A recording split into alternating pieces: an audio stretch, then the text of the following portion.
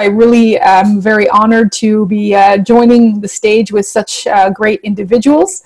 Um, so, our topic for today is uh, deep diving into outsourcing in 2020, how COVID 19 has forever changed the clinical trials landscape. And uh, we, it is four o'clock on the East Coast, but hope everybody is ready for some action and uh, wake yourselves up because it's going to be a great panel. Okay, let's get started. So, a lot has happened this year. It's been really uh, shocking if you actually sit back and think about all the change uh, that has been going on in such a short uh, time frame. Um, so, definitely in the face of adversity, we've seen all kinds of different businesses uh, take swift action to both innovate and partner, uh, not only for uh, their success, but also for survival. Uh, so that has been very important. I think the uh, the word has been pivot. Um, so that being said, when we talk about uh, COVID nineteen, uh, it definitely requires rapid action and innovation in any industry. Uh, in our industry, in particular, you, we we really need to partner. Uh, the the challenge requires us to join forces. It's simply impossible to be an expert in in in all of these fast paced uh, developments that are uh, being thrown our way. Usually, such partnerships take a long time to develop, uh, easily months and years. Uh, yet, we have seen some very fast moving companies able to develop these uh, very meaningful partnerships and, and achieve success in days and weeks. Uh, so, we have seen that companies have been pivoting and partnering their way through COVID 19. Uh, so, we have assembled an esteemed panel here to help you understand how you can evolve and modernize your company's outsourcing strategy to adapt and thrive in the new clinical trial landscape. So, love to introduce our panel. Uh, we will start with Katherine Arbour, uh, who's joining us from, from Alexion as the Executive Director in global, of Global Clinical Data Management. Go ahead, Katherine. Love to hear your introduction. Thank you, Farah. Very nice to be with you all this afternoon, morning, evening. Um, so at Alexion, I'm lucky to, to lead the traditional data management, but also our very forward-thinking, technology-driven data management, where we're using um, a lot of analytics and different ways of thinking, and that really played positively for when COVID came to us. So I'm here to share that information, and I look forward to talking with you. Great, thank you. Uh, and we also have Beverly Paperiello, who's the SVP and Clinical Operations Consultant at Intellia. Beverly, would you like to introduce yourself? Thank you so much for having me. Uh, I uh, will give you a perspective of uh, transitioning into a biotech position and understanding how to be efficient in utilizing kind of technology uh, and also learnings from others that have been there in the COVID situation and how to piggyback on that um, and to be strategic about how you apply that within the construct of building out a new organization and taking your first drug to clinic. Beautiful. Uh, and we have Mustafa Noor, who's the interim chief medical officer at AMAG Pharmaceuticals. Mustafa, would you like to say hello?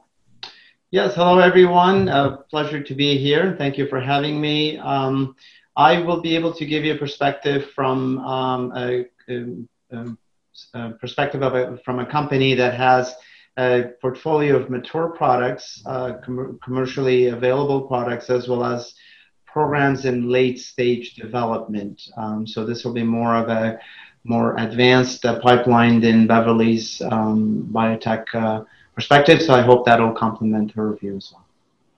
Absolutely will. Uh, we also have Shannon Macquarrie, uh, who is the VP of Clinical Trial Operations at Cato SMS, uh, to provide the CRO perspective.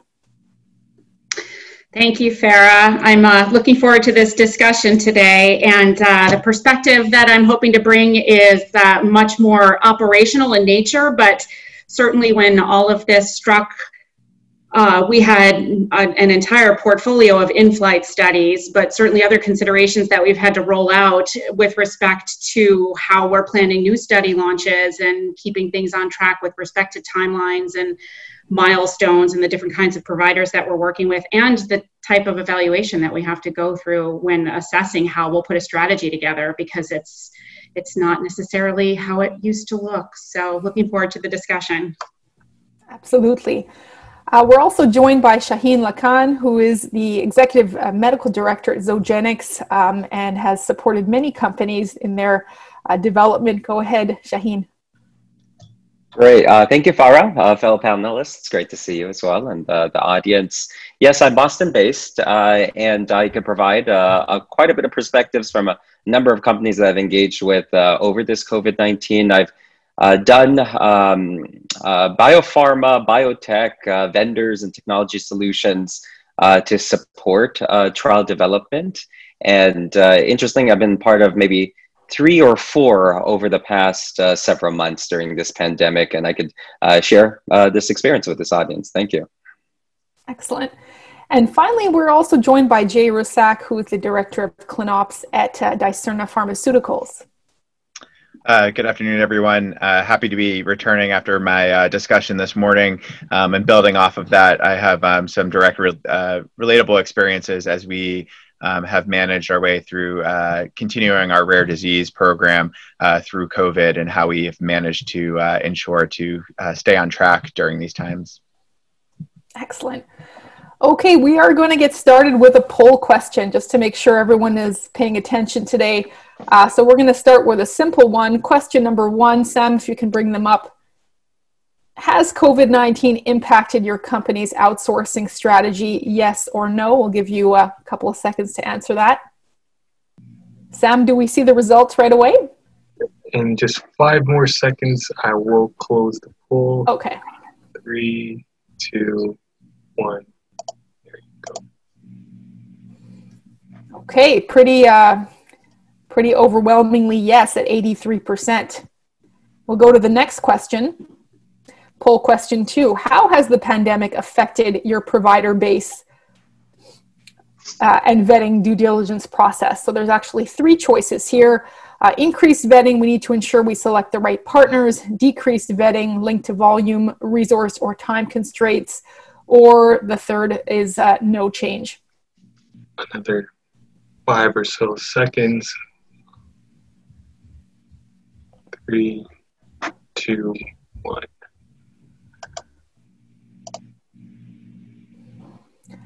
Interesting. So we've seen that uh, the 63% of respondents have indicated that they are uh, looking for increased vetting uh, to select the right partner. So I think that's a great segue into our conversation here, where we are talking about uh, outsourcing as part of a strategy in clinical operations. So we're going to start with a general question to the panel. Uh, the pandemic has forced many companies to rethink their provider base as critical new services have emerged. We've seen that kind of echo through uh, the discussions today. Uh, so, just an open question Did your organizations launch a COVID 19 work stream related to partner relationships and provider selection? If you want to jump in, maybe raise your hand. I'm trying to see uh, who can uh, respond to that one. I'll happy to uh, start, um, and then maybe others can uh, jump in. So, sure. um, Certainly. I mean, I think that uh, th- this is an unprecedented time.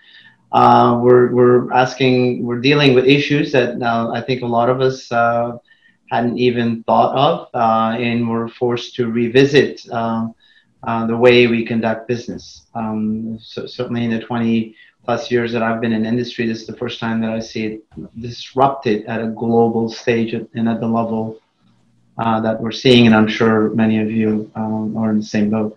Um, I think one of the, from clinical perspective in clinical trial conduct, uh, one of the ways that the pandemic has forced us to rethink uh, our strategy is uh, one that I think in some ways could be as difficult in the short term, but it could be actually beneficial in the long run. And that specifically is that rather than um, bringing patients to clinical trials, we're being forced to bring the clinical trial to the patients. Um, and, you know, and a lot of these parallels are, you know, very much what we're observing in the clinical medical practice setting, where um, patients and providers are able to hold virtual meetings um, or virtual visits, and care can a lot of the care can be conducted um, virtually, um, and except for certain procedures, etc. Um, day-to-day activities, follow-up of labs, um, discussion of test results, things like that, can be conducted um, virtually. And I think a lot of those things, learnings from that, and the change in the pattern of the ways that medicine is practiced uh, these days, can be, you know, replicated in a clinical trial setting. So I think that in that sense, I think uh, what I don't want to do is, you know, repeat what I was just uh, beautifully, Sean uh, explain to us how it's being done, but in a way that we have to kind of think or, you know, change our ways of thinking, how we approach clinical trial and look at the clinical protocols from a perspective of what is really can be done virtually, what uh, elements of this protocol can be brought to the patient, and what are our capabilities uh, that we currently have, um, both internally and also with the vendors and with partners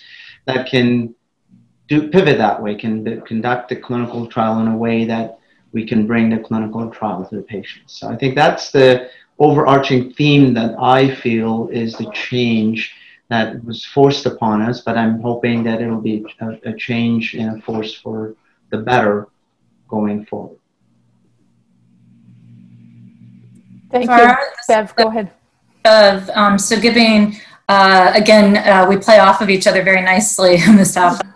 Um, so giving a little bit of a perspective from really kind of the early um, company at this moment in time, one of the things that also forces you to do is actually plan earlier, right? So we put a whole COVID plan together that talked about, you know, as you come out of the first wave in the spring, how does that play with what you're doing in the fall and the trials and what you're and how you're bringing them up and so we actually moved up the selection of several of our vendors so that the plan would be that you know things like central lab where you know you know the lead time is is so much and that's something that requires people to be in a space to do it. And so instead of getting kind of stuck with potentially the vendor we select not being able to go in and build the kits, we we moved everything up in our timeline um, so that we wouldn't be at a place where we wouldn't have things like lab kits and those things that are material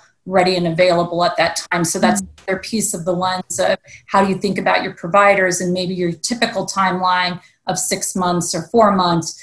Give yourself a bit more time to to allow for some of these you know changing pieces and also to work through what your strategy is around each of those vital pieces necessary to get your study up absolutely great comments there i'm going to move to the next question uh, unless somebody else wanted to jump in.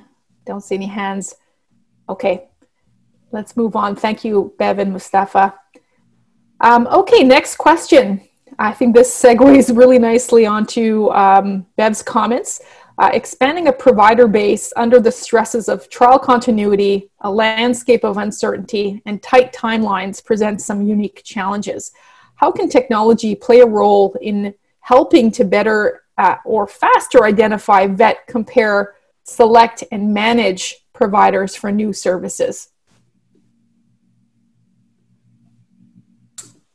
I, I can start. Um, so again, you know, I've been through big pharma down into the biotech, and so obviously, I think everybody has different ways of approaching um, how they vet uh, their various um, vendors and, and, bring all that together. I will say that um, we had a very short timeline to, to pull some things together. And so um, I was fortunate enough to have uh, an individual who's very seasoned in outsourcing um, direct me to what are some of the options around technologies when you don't have your own bid grid and you want to get through a lot of different vendors, not just the CRO, but you know some of the other ancillary vendors very quickly. So we actually institute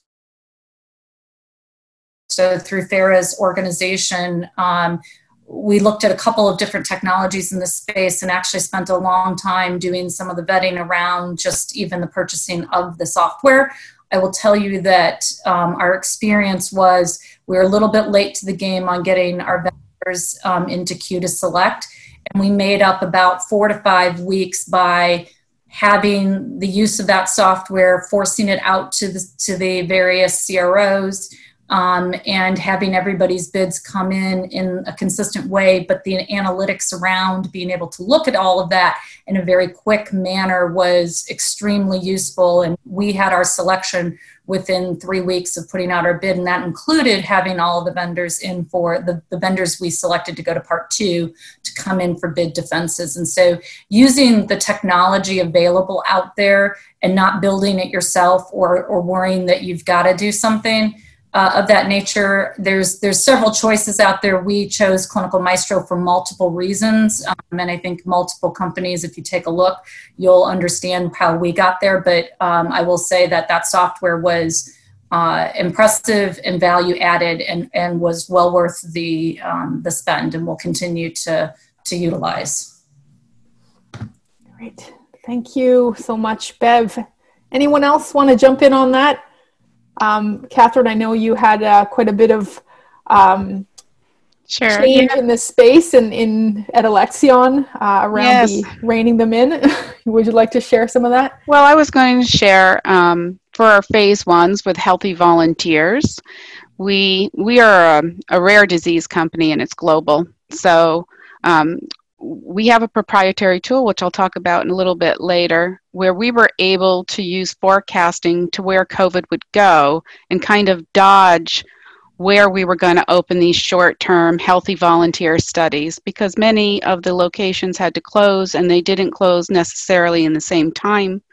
Um, so we were using technology in an AI analytic fashion to try to predict where COVID was going to flow, and then go to phase one units that were not in those locations, and then oscillate them. So that was a, a huge advancement for our ability to continue to move on with our phase one research. Very fascinating. Thank you for sharing that. Okay, I'm going to move on. I'm just uh, cognizant of the time here. Okay, this is a question for Shaheen, uh, but definitely would would love others to jump in. Uh, so Shaheen, you shared with me about your uh, great experience assessing technology tools for various different companies uh, to be applied in clinical trials. Um, and you'd mentioned observing greater polarization in the resiliency of the provider landscape, certainly in the face of uh, COVID 19.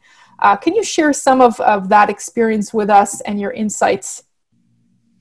Oh, sure. No, no, thank you, Farah, for, for the question and, and the premise, too. Uh, First and foremost, I, I think I've uh, divided uh, a lot of the responses that I've seen and I actually took part of into uh, reactive. You know, that was in the midst of, of COVID 19. And if you had active trials or you had trials uh, that were just about to uh, recruit, you had to quickly pivot. And uh, it was a test of your state of digital transformation, mm-hmm. your resiliency on, on whatever domain you want to measure it on and uh, if you if you actually had uh, you know good measures of communicating with your uh, your vendors and uh, and having a two-way uh, type of communication. And then as we as we got data back and uh, actually we've used many of the same proprietary and external tools that have been mentioned thus far and almost forecasting and predictions and i'm going to say probably it was just as good as if i flipped a coin because some states uh, um, actually turned out to be great and, and others not, and reopened and closed uh, in different phased approach. Uh, that, that's kind of my, my commentary on that. But it moved into a reactive into uh, a proactive type of space. I would say it got comfortable two to three months into it and now let's establish the checklist. Let's establish the vetting process. And of course, if you were disciplined before, you carried many of them over. If you were digitally transformed before, you carried those over. And then the special attention into even the specifics. I'm a, I'm a neurologist. I still see, uh, I have a small practice and kind of looking into what your vendors are doing actually in their own response and, and, and own employer response to COVIDs and screenings of court sites uh, and, and so on. Even the phase one studies, I think this was brought in, uh, healthy volunteers. Uh, what do we do? We actually took uh, approach of even having competitive types of enrollments, uh, things that classically would be recruited in a matter of a month or two. Uh, we had to open up many, many sites and have these types of contingencies, especially when we saw holes in the processes that are going down. When I talk about this polarization and, and resiliency, uh, it, it the, I've been doing probably virtual trials for, for four or five years, and it's become a hot commodity in, in, in this type of environment. And, and the settings in which I was doing those, either hybrid or, or fully decentralized, uh, those were much more advanced in their relations with vendors and uh, already interoperable, paperless types of environments.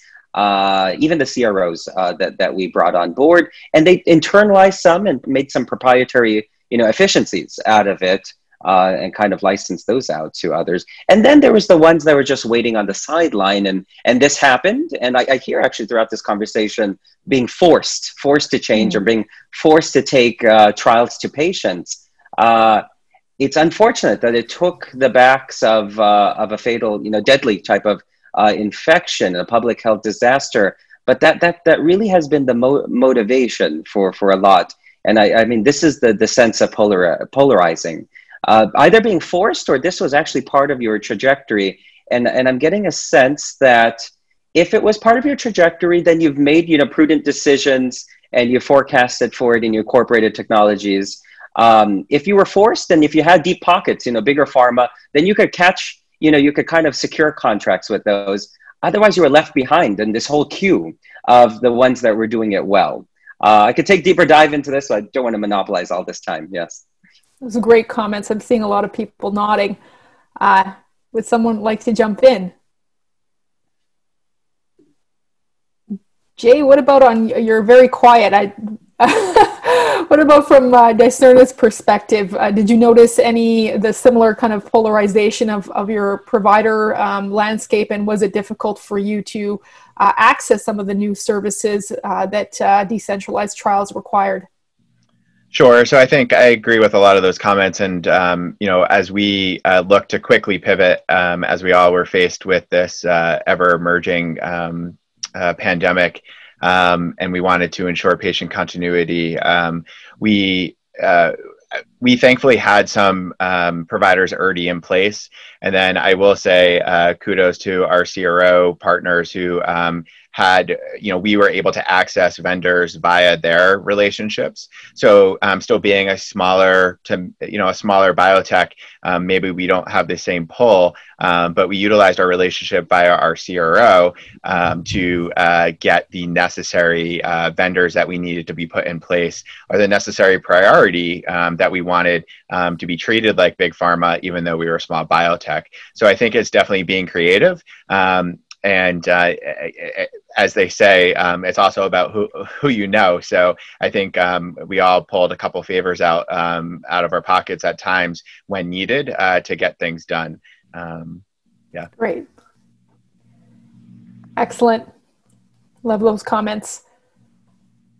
Anyone else want to add to that? No. Okay, I'm going to move to the next question. So this is one in particular for Mustafa. Uh, with so much fluctuation and change uh, to manage as a result of COVID 19 and other uh, challenges you had at AMAG, you mentioned relying on your CRO partners, just as kind of Jay mentioned, uh, to help you quickly incorporate and, inco- and implement new technologies. Um, can you share some examples and some of the benefits that you experienced? Yes, thank you. I think it um, kind of uh, relates to what um, I mentioned early on, and so far as you know, uh, revisiting the entire trial design and asking questions at every data point that's being collected. You know, what could be done differently? What needs to be done uh, better? And how can we make this more patient friendly? Um, so one of the um, I guess, examples of, of something like this was a uh, um, clinical trial uh, post-marketing requirement in the pediatric population uh, for anemia. This was for um, our um, product uh, in um, uh, which is an iron uh, supplement or infusion for iron deficiency anemia, uh. Um, and we were obviously struggling like everybody else um, with, so far as um, you know moving the, the, the uh, trial forward simply because it required a visit to the infusion center or the research site. Um, it required um, um, a few hours of you know putting in an IV line and, and infusion, uh, and then watching the patient um, for, for, a period of time, making sure everything's okay, and then allowing them to return home. Of course, the patients being minor, it also necessarily meant that uh, the uh, um, parent or the guardian had to accompany them as well. So there were a lot of here mm-hmm. challenges um, that uh, even if the patient wasn't at risk or the patient was able to participate, the, par- the uh, parent or guardian might have had issues. So um, one of the ways that we looked at this was that, okay, can we identify a vendor or partner uh, that uh, will have the capability of actually um, um bringing the, the, the procedure, doing the procedure, putting in the IV, and and and, and, in, in fact, uh, doing the infusion right at home. Um, particularly um, in, in this case, uh, the uh, elements of, of it that would allow that would be that it was already an approved drug, at least for adults, uh, that it was a um, the safety was relatively well established, uh, in that uh, really the, the patients, other than and of course anemia, were not you know deathly ill or didn't have um, acute uh, illness to deal with, uh, such as like an infection or cancer or something like that. So um, so in that case, though, we had to look um, at uh, um, partners um, who had the capability um, for much of what I think, you know, Sean, I really enjoyed Sean's presentation. Sean was um, uh, explaining in terms of uh, the capabilities of having, uh, you know, a, a, a, a, research nurse who could be on a mobile unit, uh, having the capabilities of, uh, um, you know, not just phlebotomy and um, the usual data collection, but actually in, in, in uh, a placement of an IV line, etc uh, uh, in an outpatient um, basis, and capability of in, infusion uh, and capability of supervision remotely. And assessing the capabilities of how that could be possible, whether or not um, it would in, in, incur additional cost, or can the vendor or the CRO that was uh, that, uh, helping us could do that. So, in, in our case, I think we quickly found out that the uh, CRO that we were working with being a more established um, um, um, company with a, a lot of um, subcontractors or vendors in, in, in their um, ecosystem, if you will, were able to you know give us some good uh, recommendations uh, uh, with um, you know very real possibilities of solving these things. Inevitably, obviously, all of these things um, mean additional costs, and so the the um, trade-off for us was to determine, you know, the trade-off of time and completion of the trial versus the additional cost of um, um essentially mobilizing uh, the uh, clinical um, trial site. Um, uh, and, and that was sort of what we had to do uh, and you know make the appropriate recommendations uh, and make the appropriate choices. So on the whole, Mustafa, do you think that was uh, certainly um, you know an advantage for the patient to remain uh, remain in their home? Is that something that you believe uh, you will continue post pandemic? Yes, yes, good question. Uh, from my perspective, uh, yes. Um, I, I, think that, well, I mean, it, it, I mean, well, you, you say yes in the sense that it, it, it, does allow a lot of patients to participate who would otherwise not be able to do mm. uh, all the things that Sean talked about in terms of the follow-up data and what needs to be done. Um, but also, I think that um, it does force us. Uh, you know, we all talk about patient-friendly, um, patient-centric clinical trials. You know, the word is uh, such a buzzword. Everybody's you know tossing it around. But I think the COVID situation has um, really forced us to um, think specifically about you know every procedure, every intervention, every um, visit uh, that we do as part of a clinical trial to see well to ask the question is this really patient patient centric or not? Can this be done um, uh, safely obviously uh, in a, a, a, a, you know a patient's home? Can this visit be done at patients' homes, so on and so forth. So I think that mm. is something that will continue. We will probably have many more of those visits. Uh, certainly not. Every, this is not meant to be for every visit, but I think that um, what I foresee is that in the future we will move into a hybrid situation where, uh, you know, what we thought would be a routine you know, clinic visit for a trial will no longer be that, that routine visit. It'll have to be asked, can this be done virtually, in which will be much more substantial than a, a phone call, um, and I think more accurate and better. Uh, and therefore, uh, it'll leave the clinical visit, uh, clinical research site visit to a, a frequency that is an absolute must have. Um, certainly, there will be a minimum number, but it'll be kept to a minimum, and I think it ultimately will benefit um, a lot of patients and enable more patients to participate. As I think Sean made a point there that you know it opens up the geography, and somebody else mentioned it early on that uh, patients are no longer limited to a certain radius within which they have to be living to participate in a trial. They could participate from um, you know far far away distances. Those are very good points. I had not realized the, the, the limitation that uh, some of these uh, geographies could present. I'd love to hear from Shannon uh, to maybe weigh in on this from a, a CRO perspective, just in terms of the uh, closer partnerships that you might have um, built with, with your clients to help uh, execute these changes uh, on behalf of your, your customers. Um, Shannon, do you have any thoughts there?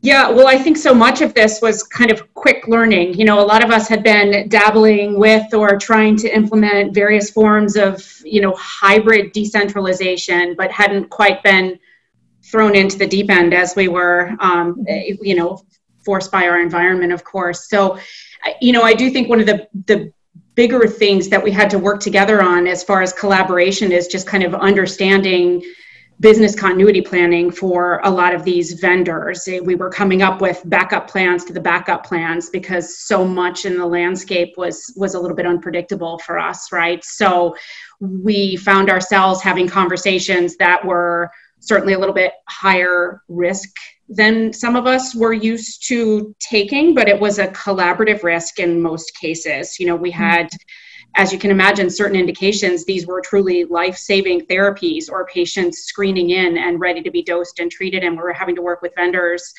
in the logistics space and needed to make sure that they were able to come through. Um, you know, all in all, if, if, when you take a step back and kind of consider some of the accomplishments that that we were collectively able to pull off with this, it was nothing short of astounding, really, and in a lot of cases. And you know, uh, I'm not sure we're going to go back from that. So the the pressure may be on in that in that regard. But yeah. um, but yeah, certainly it was uh, it was forced creativity and mm-hmm. uh, and you know, all in all, huge. I agree completely, Shannon. I think that you know, the returning to the old ways is highly unlikely, as is the case for a lot of other things. For instance, you know, just returning to offices uh, is going to be um, probably not likely for most of us in this um, business. So uh, I absolutely couldn't agree with you more. That I think the the, the um, you know the, the, some of the benefits that we're already seeing from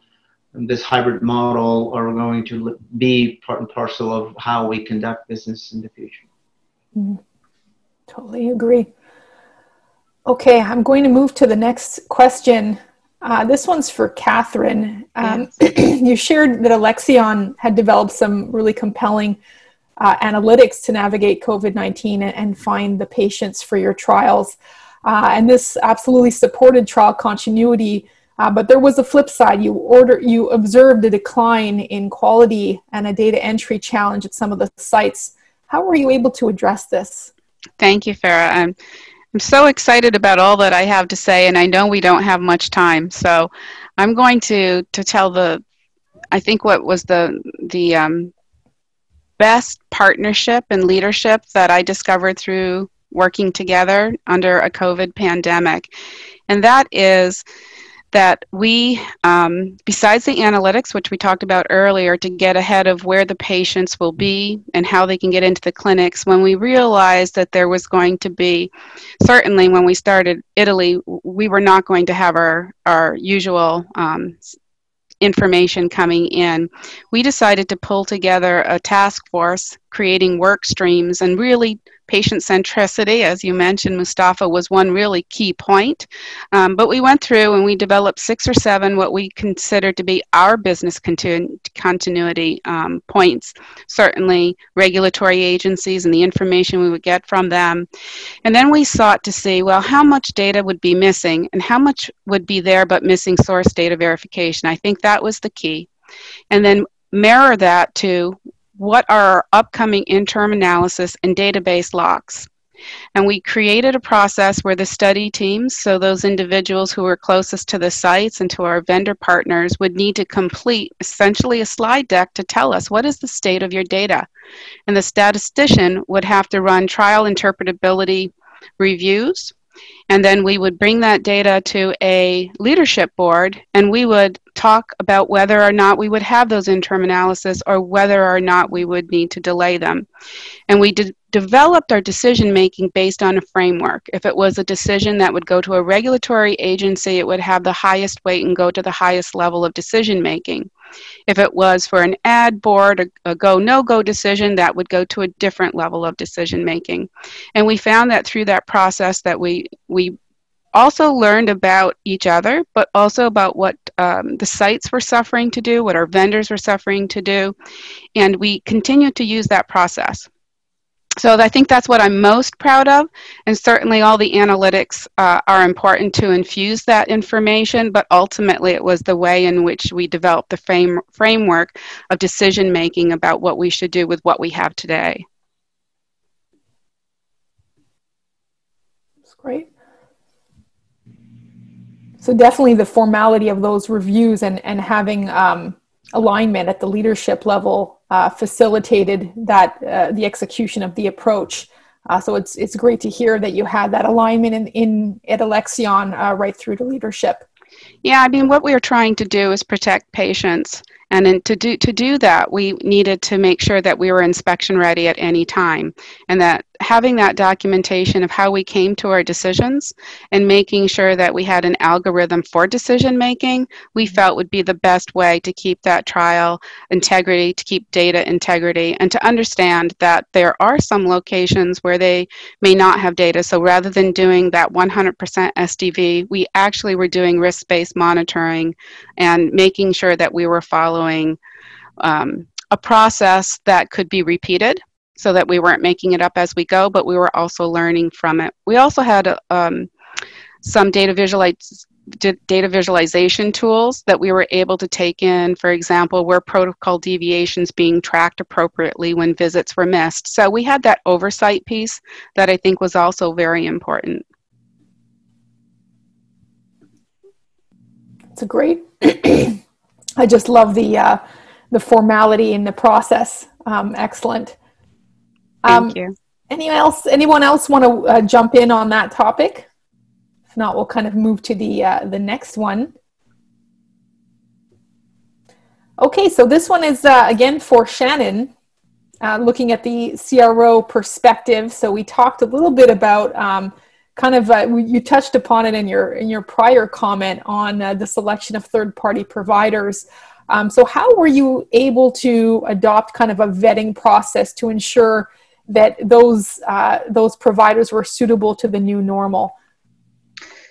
Yeah, so I, I mentioned, uh, you know, kind of having an understanding of our vendors' business continuity plans, but you know, all in all, it's a you know 100% just a risk-based approach. You know, in, in the in the beginning of it all, it was you know on the job, immediate, and uh, you know as we worked through the learnings, we of course formed task forces with different work streams. Um, some focused on logistics some focused on what we were just talking about with respect to data currency and delivery, given where trials were in the life cycle altogether.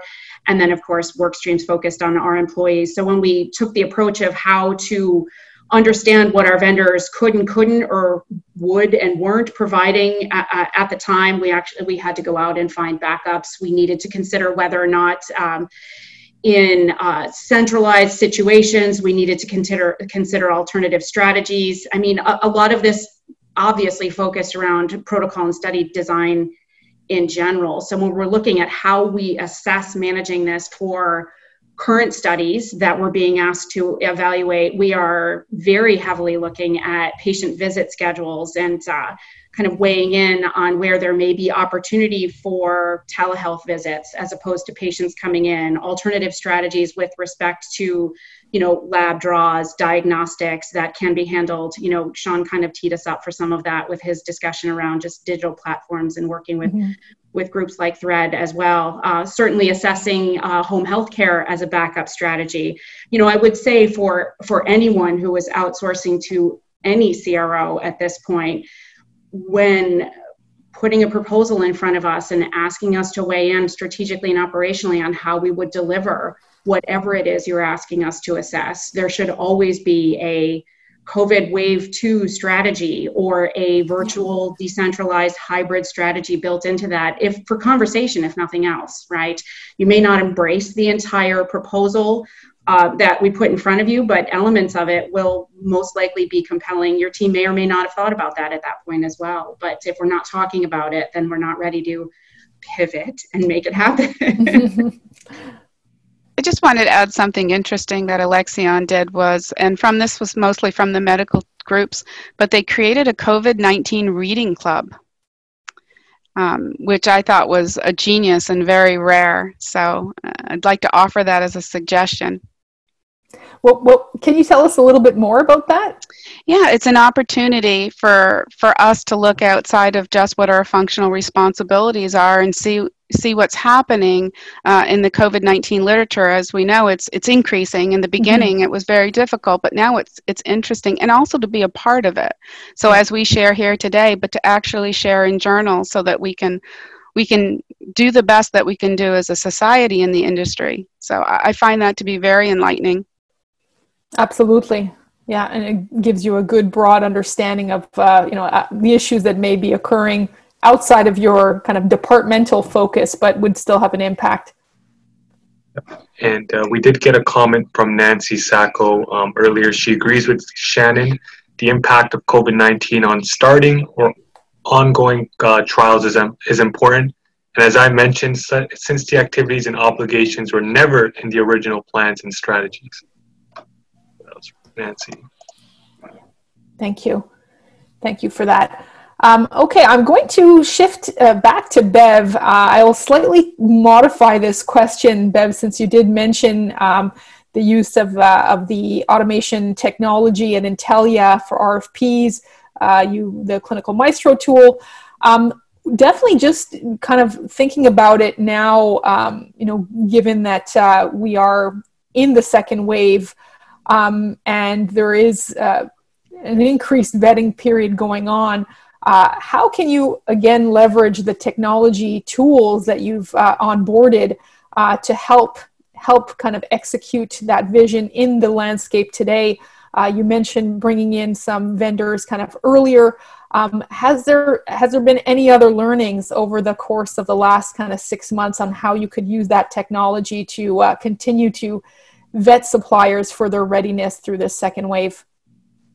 Yeah, so I think um, I think it's uh, it's interesting, Shannon, building off of Shannon's comments a few minutes ago on you know kind of how do you further think about what's occurring in the environment and how do we adapt to that, which is you, the nice thing with using a technology again that that somebody else has built, but also has flexibilities, um, would be to build in some of those additional things that maybe we hadn't thought about previously around how you might consider managing through that pandemic. So, you know, building in different scenarios, which again, the technology that we utilize, Clinical Maestro, um, you have the ability to do kind of the standard. You have the ability to allow each of your CROs to have kind of what they, as they interpret your protocol and they look at what you're proposing, on what they think would fit in terms of you know different countries different considerations around kind of the structure from a cro perspective. But then you could also build in you know this other permutation around uh, as we continue to already europe is already facing the second wave you know how does the cro think about certain things around the remote monitoring? Um, even about some of the things on visit schedule. All of those things could be built into looking at an additional um, you know different scenario uh, planning and, and the costing tool of that um, to understand what your options are I think those are great comments. Uh, you know, certainly we've seen uh, among sponsors just that greater um, bringing in these these approaches into the RFP process, basically broadening the RFP process for contingency planning uh, and using technology to uh, to process all of that data. Uh, even if it is in, still in the planning stage, um, we are having to you know have a plan a a plan b and a plan c and, and possibly a plan d. Uh, so we're talking about you know quadrupling uh, data that might uh, sit in static data sources. So definitely uh, some of the, the points that shaheen had brought forward before around uh, the progress of digital transformation uh, will help organizations get more strategic in the rfp process. So Farah if i may um, sure. you know so I think disaster preparedness is something that we don't do well. And when you, you know, you you plan, you, when you fail to plan, you're planning to fail. Yeah. That's that's the Margella's law, and we know that hurricanes happen. We've all experienced them. Mm-hmm. So part of I think our vetting of sites is what is your preparedness plan? What's your disaster preparedness plan? We need to get ahead of that. So that's another opportunity I think we have to improve as a, as an industry. Absolutely. I remember uh, in my CRO days um, being asked those questions on a routine basis, and you had the the disaster plan, but definitely uh, being able to execute the disaster plan, I think, is a a whole other challenge. Yeah, and that's the evidence of simulations and not mm-hmm. not written simulations. But what do you have in place? You know, who are your suppliers? Um, and keeping that up to date, just as we do at 1572. I think that it's it's pandemics will happen hurricanes will happen. We just simply, as as a global uh, entity, we just haven't come come to put the money and invest the money into making sure that we're prepared. Absolutely, I think having experienced this now in our lifetimes, uh, hopefully we can change that. We can all uh, influence that in some way. Um, okay, last question here before we get to the polls. Uh, so this one was uh, I was kind of referring to Katherine and Mustafa, but definitely all of you have uh, had some mention of the theme of compromise. Uh, so we're talking about uh, trade offs and compromise uh, as key themes in selecting vendors and in the landscape today with uh, things moving so rapidly. Uh, love to get some others to chime in on this. How has this impacted the diligence process uh, uh, Katherine just talked about kind of looking at disaster planning. Um, any other elements that we'd like to share here? I think this is definitely pertinent uh, to uh, today's environment.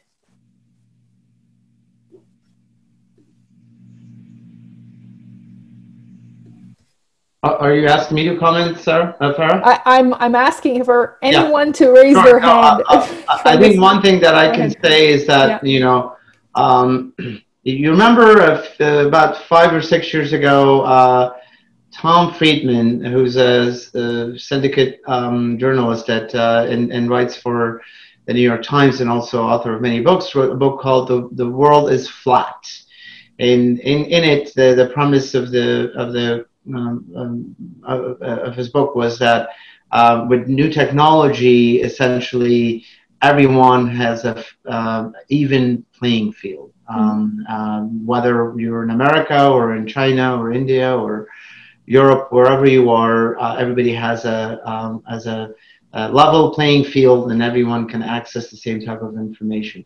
I think this is also, in a way, has become true for us because when we think about selecting new vendors, um, uh, um, I think the old um, ways of uh, gravitating towards the you know well-known names and geographies, etc., is um, now kind of out the door because um, we will we're looking at everybody, um, you know, regardless of their geographic location, because a lot of the uh, activities, work, etc., will be done in such a way that it, um, it doesn't require proximity, geographic proximity. You know, we don't have to stick with you know vendors that are in the Boston area or in the Northeast U.S. or even in the East Coast. It can be you know, anybody in the West Coast or you know Canada or outside of the U.S. Um, so that is even more, I think, going to be the norm than it had been. So.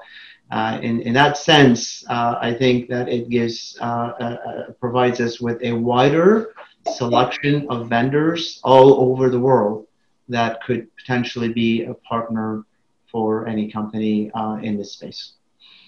Those are fantastic insights. So essentially, it's changing the criteria. Uh, it's broadening the, the the scope or the net that you're kind of casting, yeah. Yeah. Um, and it it actually changes what might be the priorities and selection criteria as well.